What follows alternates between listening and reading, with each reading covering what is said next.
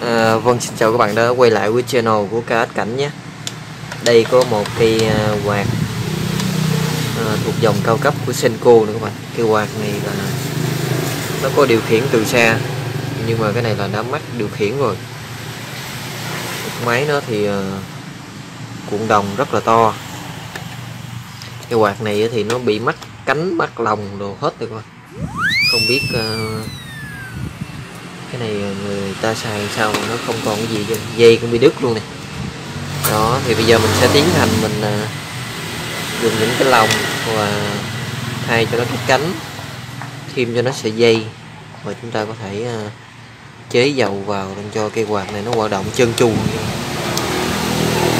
cây quạt này nó có cái nút à, hẹn giờ này tắt mở này nút quay qua quay lại này nút này lớn nhỏ này rồi, thì mình à, sẽ tiến hành mình à, làm nha các bạn.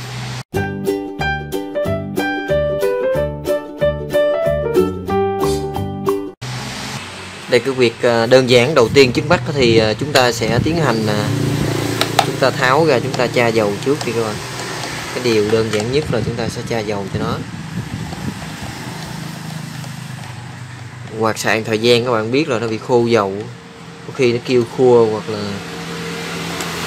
nó chạy đề ba chậm, khô dầu chạy từ từ, nó hư nó hư cốt hết. Wow. Wow, con đồng ngon quá các bạn đồng này dây là dây to cũng luôn á. Dây đồng này là dây dây to luôn nè. Đây các bạn thấy nè. Dây đồng cực to luôn. Đó. Đây mình quay sát cho các bạn xem nè. Dây đồng quá to các bạn thấy không? Đấy thì mình sẽ vệ sinh sơ sơ nha các bạn mình sẽ sẽ vệ sinh sơ sơ luôn cho nó đã đỡ bụi cái. Các bạn dùng mấy cái cọ này. Đây, các bạn dùng cọ, các bạn quét. Nó còn quét cho sạch bụi thôi. Đây. Nó quét cho nó sạch bụi thôi chứ các bạn cũng cũng không cần tháo ra những con ốc nào trong đây chứ. Nó quét cho sơ sơ là được các bạn không quét cũng không sao. Nhưng mà chúng ta quét cho nó sạch. Rồi. Rồi xong. Chúng ta quét sơ vậy thôi nha các bạn. Rồi các bạn à, khi mà chế dầu các bạn sẽ không phải các bạn muốn chế đâu, các bạn chế nha. Đây. Thì mình sẽ cho các bạn xem mình mình sẽ chế dầu vào cái bạc cái bạc nằm trong đây nè. Này chỗ cái đầu dít các bạn nó nằm trong cái cái chúng ta khi mà thay con đồng thì chúng ta sẽ tháo ra, chúng ta chế còn cái này bạn không cần tháo đâu. Đây các bạn sẽ chế thà các bạn để ngay gì nè. Các bạn nhỏ dài giọt vô. Rồi, chúng ta sẽ quay cái cốt này nè. Quay cho nó đều thôi. Các bạn thấy nó khô, các bạn nhỏ ờ, quá cũng không không được. Các bạn nhỏ cho khoảng trung bình, các bạn nhỏ khoảng năm, sáu, bảy giọt vậy thôi năm sáu bảy giọt chứ không phải cộng lên năm, sáu, bảy, mười tám giọt nhưng mà. Đấy. Rồi, sau khi nhỏ các bạn sao xong, thì ờ, các bạn trước thì chúng ta sẽ dùng một cái ống hút nữa các bạn. Đây, một cái ống hút rồi chúng ta để cái quạt cho nó đúng cái tư thế nha. Đây, các bạn làm sao mà cho cái cái ống hút này nó nó đi vô tới cái bạc này. Này các bạn nhìn là thấy không? Đó, mình mình sẽ để đúng cái tư thế với mình nhỏ mình nhỏ dầu vô xem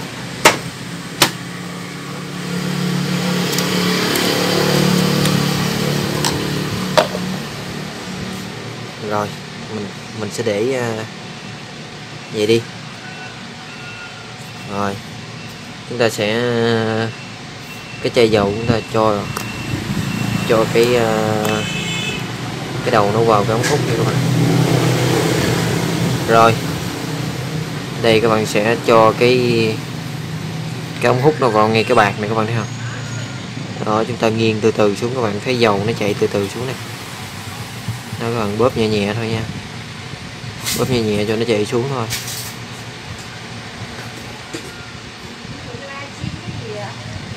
Dạ.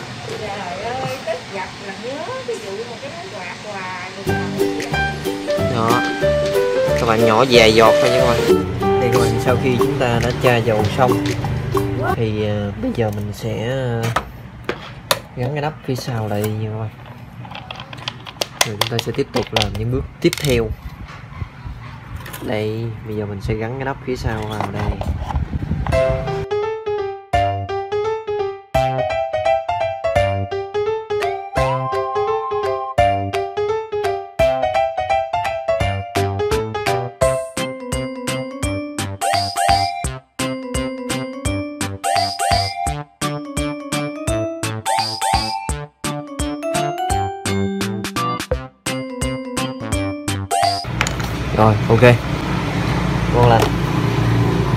Bây giờ mình sẽ uh, chuẩn bị uh, một cái lồng. Đây. Đây mình sẽ lấy một cái lồng. Vô uh, không có lồng trắng cho nên cái này mình lấy cái lồng đen đỏ đi. Để rồi ngon lành. Các bạn sẽ lấy cái khóa lồng nhé. Nhưng các bạn gắn lồng trắng hay các bạn gắn lồng đen gì nhìn nó cũng đẹp hết. Đây chúng ta sẽ sử dụng một cái khóa lồng. Đây có rất là nhiều khóa lồng này. Thì các bạn chọn một chọn cái khóa lồng nào mà cho vừa nó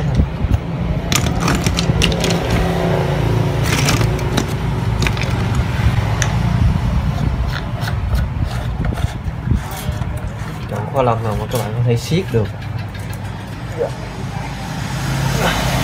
rồi, đúng. Ngon lành đây, xong. Bây giờ chúng ta sẽ ờ, tiếp tục. Dùng cái cánh. Đây các bạn. Đây có một cái cánh ờ, quạt nhưng mà nó dơ quá này các bạn thấy quá dơ này thì bây giờ mình sẽ vệ sinh cái cánh này nha các bạn. Cánh này nó dơ quá, thì giờ chúng ta sẽ vệ sinh cái cánh này nha. Đây mình sẽ quay qua cho các bạn xem. Giờ cái cánh này chúng ta sẽ xịt nước đi.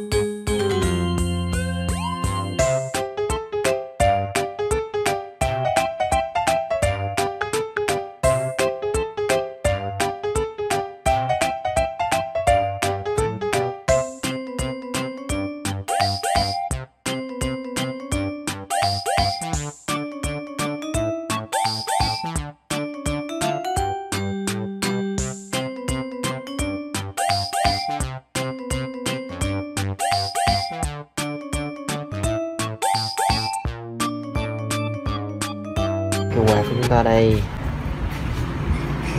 Giờ chúng ta sẽ thay cái ờ, cánh này vào cái quạt. Rồi chúng ta gắn cái lồng vào nữa là ok nha bạn. Các bạn nhìn cái cánh khá là đẹp các bạn thấy không? Cánh khá là đẹp. Năm cánh luôn. Thôi nhiều các bạn uh, xem mình có cái cánh này vào nhé. Đây nó có cái uh, cái cái cái mặt viết bên này cốt này. đó. Làm xe đèn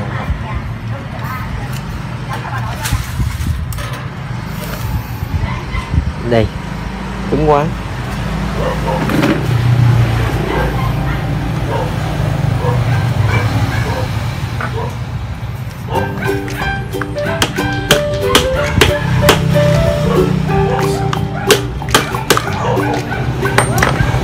Đóng cho nó tới cái à, tới cái phe này nha các bạn. Rồi, ngon lành. Ta dùng cái à, thêm cái khóa cánh này này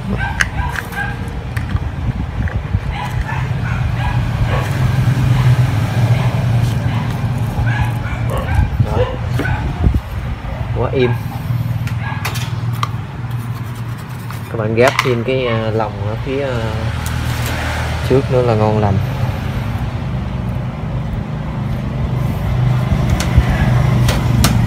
đây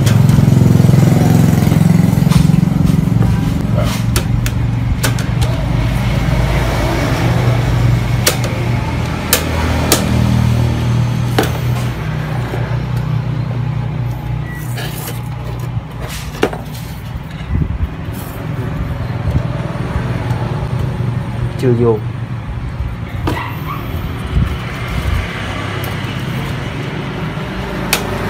Rồi. Ok. Sau khi à, uh, gắp lòng gắp cánh đồ xong thì các bạn thấy là giờ cơ quạt cũng khá là im ngon thấy không? Khá là ngon. Thì chúng ta sẽ tiến hành chúng ta gấp sợi dây này vào. Đây mình đã chuẩn bị sẵn cái sợi dây. Một sợi dây màu trắng quạt màu trắng thì mình sẽ chuẩn bị sợi màu trắng luôn. Đây.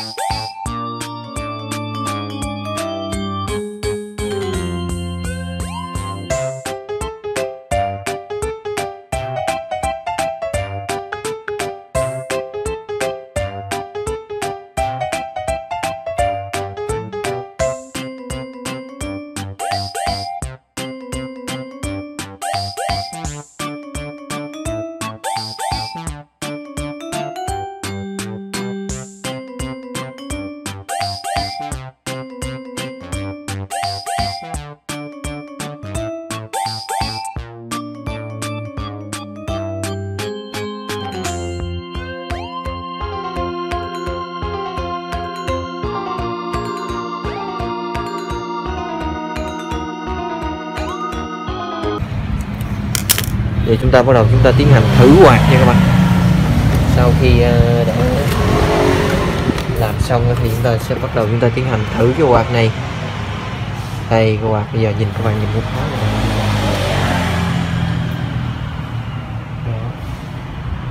thế là mình đã ghim điện xong nha các bạn. Đây, các bạn bấm nút speed là cho nó quay này quá quá im mọi người quá mạnh luôn đây cái nút uh, cái nút on skill này là cái nút quay qua quay lại này. Đó là nút tính năng này đây rồi. Nếu mà biết các bạn bấm hai là mạnh nữa này. Lao là nhỏ này. Ta tắt cho nó quay. Đây chúng ta bấm đừng cho nó quay qua quay lại thì chúng ta bấm cái nút ờ, skill này. Rồi quá ngon luôn các bạn. Các bạn xem ờ, video các bạn thấy hay, các bạn nhớ bấm đăng ký kênh. Và chia sẻ cho mọi người biết các bạn.